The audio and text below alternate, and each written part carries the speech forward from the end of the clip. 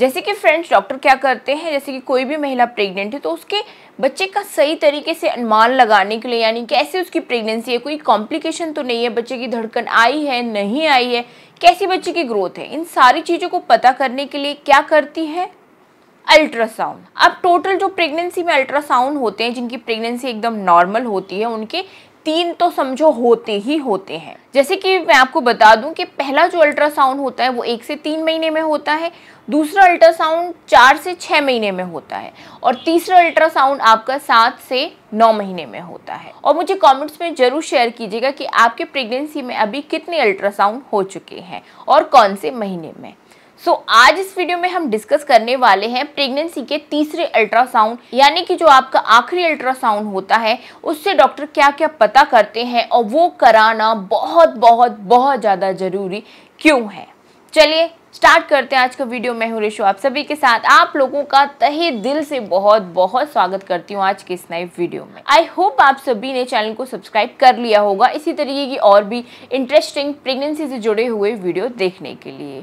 और अगर नहीं किया है तो जल्दी से कर लीजिए। क्योंकि बाद में फिर आप भूल जाते हो वीडियो की भावनाओं में खो जाते हो और वीडियो छोड़ के चले जाते हो ऐसे ही। तो इसी तरीके की और भी हेल्पफुल वीडियो देखने के लिए, हमसे डेली जुड़े रहने के लिए सब्सक्राइब करना बिल्कुल ना भूलिए तो सबसे पहले बात करते हैं, जो आपका प्रेगनेंसी का लास्ट अल्ट्रासाउंड होता है, वो आपको कब कराना चाहिए? तो अगर आपको डॉक्टर सातवें महीने में बोल रहे हैं तो करा लीजिए, आठवें में बोल रहे हैं तो करा लीजिए। लेकिन नॉर्मली जो ये अल्ट्रासाउंड होता है, जिससे हम बहुत सारी चीज़ों का पता कर सकते हैं, वो आपको कराना चाहिए थर्टी फोर वीक से, थर्टी सिक्स वीक या थर्टी सेवन वीक के अंदर अंदर इस टाइम तक आपको करा लेना चाहिए। यानी कि आठवें महीने के एंड से लेकर नौवें महीने के एक हफ़्ते या दो हफ़्ते में आपको ये अल्ट्रासाउंड अपना करा लेना चाहिए। अब क्या क्या इस अल्ट्रासाउंड से पता चल सकता है आपको? क्यों ये ज़रूरी है? तो बताती हूँ। सबसे पहली चीज़, इससे बच्चे की एफ़ पता चलती है, यानी कि बच्चे की हार्ट रेट अब हार्ट रेट लास्ट के महीनों में पता करना बहुत ज़्यादा ज़रूरी होता है, क्योंकि अगर बच्चे की हार्ट रेट गिरती है तो ऐसे में फिर डॉक्टर सीजेरियन डिलीवरी कर देती है। तो अगर आपके बच्चे की हार्ट रेट नॉर्मल आती है इस अल्ट्रासाउंड में तो घबराने की बिल्कुल भी ज़रूरत नहीं अब जैसे कि आने वाले दिनों में आपकी डिलीवरी होने वाली है, और आप चाह रहे हो कि आपकी नॉर्मल डिलीवरी हो तो बहुत सारी चीज़ें नॉर्मल डिलीवरी से जुड़ी हुई इस अल्ट्रासाउंड में आपको पता चल जाती हैं। आप इस अल्ट्रासाउंड से कंफर्म कर लेते हो कि आपकी नॉर्मल डिलीवरी होगी या नहीं। तो बहुत सी ज़रूरी चीज़ें होती हैं, उसके लिए वो हम जान लेते हैं। सबसे पहली चीज़ होती है वेवी बेट मतलब बच्चे का वज़न पेट में कितना है। अगर आपके बच्चे का वज़न जो अल्ट्रासाउंड में है इस टाइम पे, नौवीं महीने में, वो ढाई किलो से लेके चार किलो तक भी है तो बिल्कुल नॉर्मल होता है। ऐसे में आपकी नॉर्मल डिलीवरी के चांसेस हो जाते हैं। अब नॉर्मल डिलीवरी के लिए क्या ज़रूरी है? बच्चे की सही पोजीशन तो आप इस अल्ट्रासाउंड से बच्चे की सही पोजीशन को भी पता कर सकते हो कि जो बच्चे ने पोजीशन ले रखी है, उसमें नॉर्मल डिलीवरी हो जाएगी या नहीं। तो अगर आपके अल्ट्रासाउंड में लिखा हुआ है सेफ्लिक पोजीशन या वर्टिक्स पोजीशन तो इसका मतलब है कि आपके बच्चे की सही पोजीशन है नॉर्मल डिलीवरी के लिए। आपको घबराने की ज़रूरत नहीं है, बच्चे ने सर नीचे अपना कर लिया है। लेकिन अगर अल्ट्रासाउंड में लिखा होता है ब्रीच पोजीशन या ट्रांसवर्स पोजीशन तो इसका मतलब है कि बच्चा आपका उल्टा है, यानी कि पैर नीचे है और सर ऊपर है, या फिर बच्चा आड़ा है।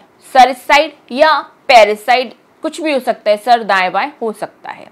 ठीक है ना? तो ये आप अल्ट्रासाउंड से क्लियर कर सकते हो। नेक्स्ट टोटल जो आपकी प्रेगनेंसी है, वो कितने वीक की अभी हो चुकी है? कितने वीक का आपके बच्चे का डेवलपमेंट हो चुका है? वो भी इस अल्ट्रासाउंड से आपको पता चल जाता है। तो उसके अकॉर्डिंग आप समझ सकते हो कि आपके बच्चे की ग्रोथ टाइम टू टाइम सही चल रही है। थोड़ा एक दो वीक आगे पीछे हो सकती है तो इसमें घबराने की बिल्कुल भी ज़रूरत नहीं है। नेक्स्ट चीज़ जो इससे आपको पता चलती है नॉर्मल डिलीवरी के लिए वो होती है, कितना सेंटीमीटर आपका सर्विक्स खुल चुका है।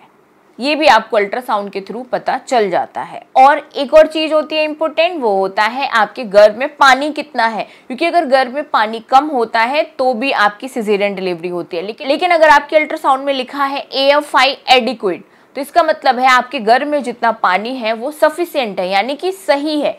घबराने की ज़रूरत नहीं है। तो ये जो चीज़ें मैंने आपको बताई है आपकी अल्ट्रासाउंड रिपोर्ट में सब नॉर्मल है तो आप 100 परसेंट कन्फर्म हो जाइए कि आपकी नॉर्मल डिलीवरी हो जाएगी घबराने की बिल्कुल भी ज़रूरत नहीं है। और साथ ही साथ अगर आपका H B to twelve point तक है तो ठीक है आपका बीपी नॉर्मल रहता है आपको थायराइड की प्रॉब्लम नहीं है और भी कोई दिल से जुड़ी हुई कोई समस्या आपको नहीं है तो आप घबराइए बिल्कुल नहीं। जल्दी से अपनी अल्ट्रासाउंड रिपोर्ट आप उठाकर देखिए और ये सारी चीज़ें चेक कीजिए। और कमेंट्स में बताना मत भूलिए कि आपके कितने अल्ट्रासाउंड अभी हो चुके हैं। तो मिलती हूँ नेक्स्ट वीडियो में, लेती हूँ विदा आप सभी से। Bye thanks for watching